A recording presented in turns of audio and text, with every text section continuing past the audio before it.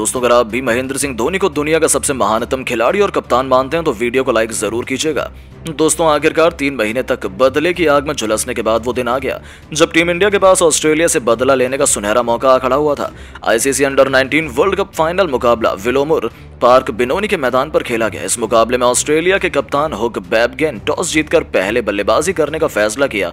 Team के लिए opening की शुरुआत करने मैदान पर है रिडक्शन के साथ सैम कॉन्स्तम उतरे, लेकिन वहीं भारत की तरफ़ से गेंदबाजी करने राज लिम्बानी मैदान पर आए। दोनों अपना अपनी टीम के लिए बेहतरीन शुरुआत दिला रहे थे। हैरी डिक्शन खतरनाक अंदाज में बल्लेबाजी कर रहे थे। पहले ही ओवर में उन्होंने 11 रन बटोर लिए। लेकिन लिम्बानी ने दोनों की जोड़ी को ज़्यादा देर तक मैदान पर टिकने नहीं दिया। तीसरे ओवर की तीसरी गेंद पर सैम कॉन्स्तम को क्लीन बोल्ड कर पवेलियन का रास्ता दिखा दिया। भारतीय टीम को पहला विकेट 16 रनों के स्कोर पर ही मिल गया। हरिदर्शन का साथ देने मैदान पर हुक बेल्ब गेंद आए। इन दोनों ने मिलकर टीम की पारी को संभाला। स्कोर को धीरे धीरे आगे बढ़ाया। इन दोनों बल्लेबाजों ने मिलकर पहले पावर प्ले के 10 ओवर में अपनी टीम के स्कोर को 45 रनों तक पहुँचा दिया। धीरे धीरे बल्लेबाजी करते हुए इन दोनों बल्लेबाजों ने अपनी टीम के स्कोर को 50 रनों के पास पहुँचा दिया, साथ ही अच्छी पार्टनरशिप की तरफ़ बढ़ रहे थे। लेकिन भारत के खतरनाक, तेज गेंदबाजी राज लिम्बानी और नमन तिवारी के आगे ऑस्ट्रेलिया के टॉप ऑर्डर बल्लेबाज घुटने टेकने को तैयार हो गए और निन्यानवे स्थान पर स्कोर पर तीन बल्लेबाज पवेलियन लौट गए। लेकिन एक तरफ़ से हरजस सिंह और ओलिवर पिक ने मिलकर टीम की पारी को संभाला और अपनी टीम के स्कोर को 180 रनों तक पहुँचा दिया। इसके बाद हरजस सिंह भी ज़्यादा देर तक मैदान पर टिक नहीं पाए, लेकिन ओलिवर पिक मैदान पर टिके हुए थे। वो तूफानी बल्लेबाजी कर रहे थे। अपनी टीम के स्कोर को 50 ओवर में सात विकेट के नुकसान पर दो सौ तिरपन तक पहुँचा दिया। भारत की तरफ़ से राज लिम्बानी ने तीन विकेट झटके तो वहीं नमन तिवारी ने, दो सौम्य पांडे और मुझीर खान ने एक एक विकेट अपने नाम किया। ऑस्ट्रेलिया के द्वारा दिए गए लक्ष्य भारत के लिए हासिल करना बिल्कुल भी मुश्किल काम नहीं था। लेकिन ऑस्ट्रेलिया के गेंदबाज बेहद हौसले में नज़र आ रहे थे। भारत की तरफ़ से ओपनिंग करने मैदान पर आरसिन कुलकर्णी के साथ आदर्श सिंह आए। ऑस्ट्रेलियाई गेंदबाज कलम बैडलर नई खतरनाक गेंदबाजी कर पहले ओवर ही मिडन फेंक दिया। भारतीय बल्लेबाजों को बिल्कुल भी समझ नहीं आया, लेकिन दोनों बल्लेबाज मैदान पर डटकर सामना कर रहे थे। टीम इंडिया का स्कोर दो ओवर में केवल एक रन ही बन पाया था। भारतीय बल्लेबाजों को खेलने में काफ़ी मुश्किल हो रही थी। टीम के लिए तीसरा ओवर फेंकने आए कैलम वेल्डर ने। अपने ओवर की दूसरी गेंद पर अर्जुन कुलकर्णी को पवेलियन का रास्ता दिखा दिया। भारतीय टीम को बड़ा झटका केवल तीन रनों के स्कोर पर लग गया। लेकिन एक तरफ़ से आदर्श सिंह मैदान पर टिके हुए थे। उनका साथ देने के लिए मुशीर खान आ गए। इन दोनों बल्लेबाजों के कंधे पर टीम की ये ज़िम्मेदारी थी। धीरे धीरे स्कोर को आगे बढ़ा रहे थे टीम इंडिया के। लगन बनाना बेहद मुश्किल हो रहा था, लेकिन बल्लेबाज डटकर सामना कर रहे थे। धीरे धीरे स्कोर को आगे बढ़ाने की पूरी कोशिश कर रहे थे। दोनों बल्लेबाज अच्छी पार्टनरशिप की तरफ़ भी बढ़ रहे थे और अपनी टीम के स्कोर को पावर प्ले के 10 ओवर में 28 रनों तक पहुँचा दिया था। दोनों बल्लेबाज टीम के स्कोर को तेज़ी से रन बनाने लगे और देखते देखते दोनों खिलाड़ी अच्छी पार्टनरशिप की तरफ़ बढ़ रहे थे। लेकिन तभी टीम के लिए तेरवा ओवर फेंकने आए मोहाली बियर्डमैन अपने ओवर की दूसरी गेंद पर। मुशीर खान को क्लीन बोल्ड कर पवेलियन का रास्ता दिखा दिया। भारतीय टीम को दूसरा बड़ा झटका लग गया, लेकिन आदर्श सिंह मैदान पर टिके हुए थे। उनका साथ देने के लिए कप्तान उदय सहारन आ चुके थे। टीम इंडिया एक बार फिर मुश्किल घड़ी में नज़र आने लगी। भारत के दो बल्लेबाज बहुत जल्द पवेलियन जा चुके थे। अभी भी जीत के लिए टीम इंडिया को 213 रनों की ज़रूरत थी। ये दोनों बल्लेबाज धीरे धीरे बल्लेबाजी करते हुए टीम के स्कोर को 50 रनों के पार पहुँचाया। उदय मैदान पर उतरते ही चौका लगाकर अपना खाता खोला। भारतीय टीम के स्कोर को तेज़ी से आगे बढ़ाने लगे, लेकिन ऑस्ट्रेलियाई गेंदबाज खतरनाक गेंदबाजी का नज़ारा दिखा रहे थे। भारतीय बल्लेबाजों को खेलना मुश्किल भी हो रहा था। टीम के लिए सत्रहवा ओवर फेंकने आए। एक बार फिर मोहाली बियडमैन अपने ओवर की पांचवी गेंद पर कप्तान उदय सहारन को पवेलियन का रास्ता दिखाकर टीम इंडिया की कमर तोड़ दी। छप्पन रनों के स्कोर पर भारत के तीन बल्लेबाज पवेलियन लौट गए। टीम इंडिया एक बार फिर मुश्किल घड़ी में आ गई। लेकिन एक तरफ़ से आदर्श सिंह मैदान पर टिके हुए थे और अब उनके साथ देने के लिए सचिन दास आ गए। ऑस्ट्रेलियाई गेंदबाज खतरनाक गेंदबाजी का नज़ारा दिखा रहे थे। टीम इंडिया पर पूरी तरह से हावी नज़र आ रहे थे। लेकिन सचिन दास मैदान पर आते ही चौका लगाकर तेज़ी से आगे स्कोर को बढ़ाया। लेकिन सचिन दास भी ज़्यादा देर तक मैदान पर टिक नहीं सके। टीम के लिए बीसवां ओवर फेंकने आए। रफ मैक मिलन पर रचिन, सचिन दास को पवेलियन का रास्ता दिखा दिया। भारतीय टीम का चौथा विकेट अड़सठ रनों के स्कोर पर गिर गया 20 ओवर में। इंडिया ने केवल चौहत्तर रन ही बनाए और चार विकेट गवा बैठे, लेकिन अभी भी आदर्श सिंह मैदान पर टिके हुए थे। वो टीम इंडिया के लिए उम्मीद बनकर खड़े थे। उनका साथ देने के लिए मैदान पर प्रियांशु मोलाया आए। इन दोनों खिलाड़ियों के कंधों पर टीम की पूरी ज़िम्मेदारी आ चुकी थी, क्योंकि चार बल्लेबाज पवेलियन लौट चुके थे। 22 ओवर में टीम इंडिया का केवल इक्यासी रन बन पाया था। अभी भी भारतीय टीम को जीत के लिए एक रनों की ज़रूरत थी। आदर्श सिंह मैदान पर साठ गेंद खेलकर एक्शन बनाकर मैदान पर टिके हुए थे। तो वहीं प्रियांशु उन्नीस गेंद में आठ रन बनाकर पवेलियन जा चुके थे। टीम इंडिया का पाँच विकेट, नब्बे रनों के स्कोर पर गिल गया और मैकमोल के शिकार हो गए। टीम इंडिया का इक्यानवे रन के स्कोर पर छह विकेट गिर गए। लेकिन लंबे समय से बल्लेबाजी कर रहे आदर्श खान भी टीम इंडिया को जीत नहीं दिला सके। इकतीसवें ओवर की तीसरी गेंद पर 45 रन बनाकर पवेलियन लौट गए। टीम इंडिया के सात बल्लेबाज मैदान के बाहर जा चुके थे।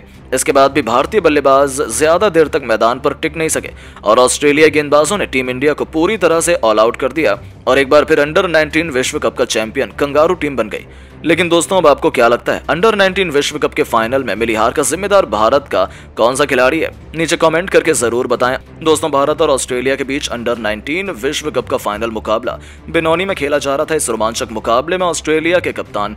टॉस जीतकर पहले बल्लेबाजी करने का फैसला किया, लेकिन यह फैसला कुछ खास नहीं रहा। भारत की खतरनाक गेंदबाजी के आगे ऑस्ट्रेलिया के तीन बल्लेबाज बहुत जल्द पवेलियन लौट गए।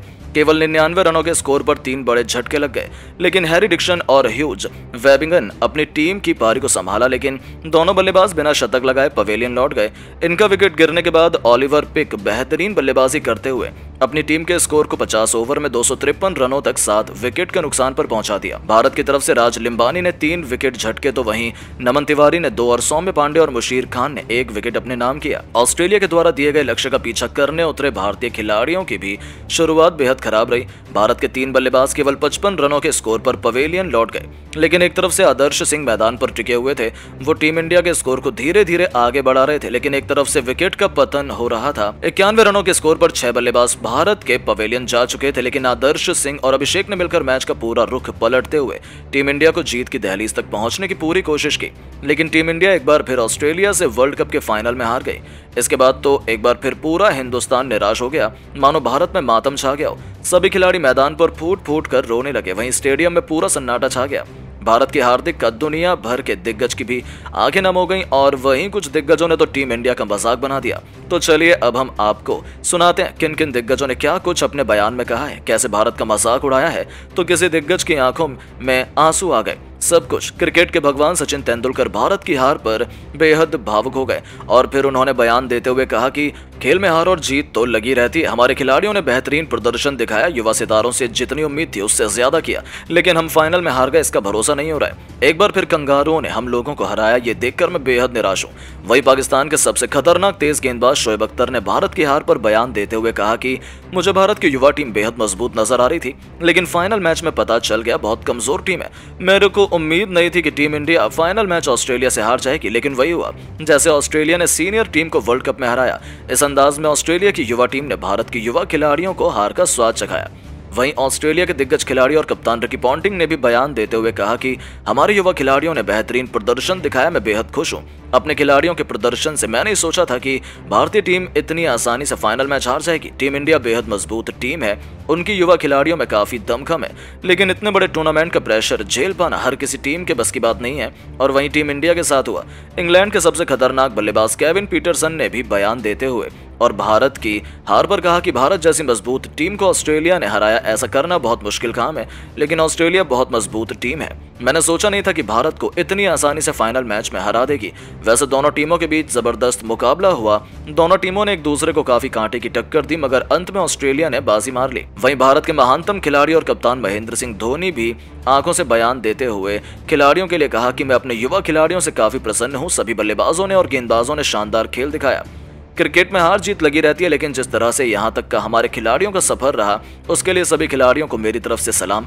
तो दोस्तों, देखा आपने किस तरह से भारत के अंडर 19 टीम के लिए कुछ बड़े बड़े दिग्गजों ने झाड़ू के लिए तो वहीं कुछ ने तारीफ़ के कसीदे पड़े। और वर्ल्ड कप अंडर 19 विश्व कप में मिली हार का दुख हर किसी को है। लेकिन अब आपको क्या लगता है, अंडर 19 विश्व कप में मिली हार का सबसे बड़ा जिम्मेदार कौन है? नीचे कमेंट करके ज़रूर बताएँ। दोस्तों, आखिरकार तीन महीने तक बदले की आग में झुलसने के बाद वो दिन आ गया जब टीम इंडिया के पास ऑस्ट्रेलिया से बदला लेने का सुनहरा मौका खड़ा हुआ था। ICC under 19 world cup final मुकाबला विलोमपुर पार्क बिनोनी के मैदान पर खेला गया। इस मुकाबले में ऑस्ट्रेलिया के कप्तान ह्यूज बैकबेन ने टॉस जीतकर पहले बल्लेबाजी करने का फैसला किया। टीम के लिए ओपनिंग की शुरुआत करने मैदान पर हैरिड एक्शन के साथ सैम कोस्टर आते हैं, लेकिन वहीं भारत की तरफ़ से गेंदबाजी करने राज लिम्बानी मैदान पर आए। दोनों ने अपनी टीम के लिए बेहतरीन शुरुआत दिला रहे थे। हैरी खतरनाक अंदाज में बल्लेबाजी कर रहे थे। पहले ही ओवर में उन्होंने ग्यारह रन बटोर लिए, लेकिन लिम्बानी ने दोनों की जोड़ी को ज़्यादा देर तक मैदान पर टिकने नहीं दिया। तीसरे ओवर की तीसरी गेंद पर सैम को क्लीन बोल्ड कर पवेलियन का रास्ता दिखा दिया। भारतीय टीम को पहला विकेट 16 रनों के स्कोर पर ही मिल जाता है। हैरी का साथ देने मैदान पर यूज़ वेलवेन आए थे। इन दोनों ने मिलकर टीम की पारी को संभाल। कर स्कोर को धीरे धीरे आगे बढ़ाया। इन दोनों बल्लेबाजों ने मिलकर पहले पावर प्ले के 10 ओवर में अपनी टीम के स्कोर को 45 रनों तक पहुँचा दिया। धीरे धीरे बल्लेबाजी करते हुए इन दोनों बल्लेबाजों ने अपनी टीम के स्कोर को 50 रनों के पास पहुँचा दिया। साथ ही अच्छे पार्टनरशिप की तरफ़ भी बढ़ रहे थे।